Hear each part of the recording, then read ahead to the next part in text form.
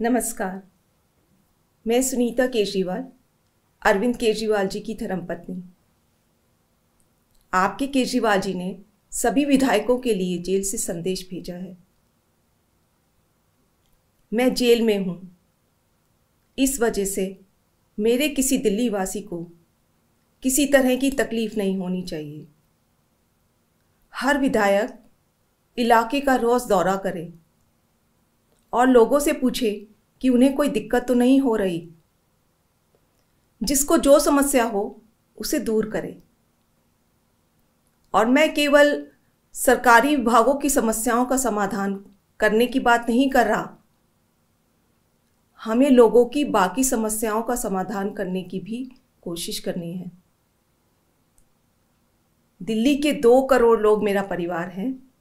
मेरे परिवार में कोई किसी वजह से भी दुखी नहीं होना चाहिए। भगवान सबका भला करे। जय हिंद।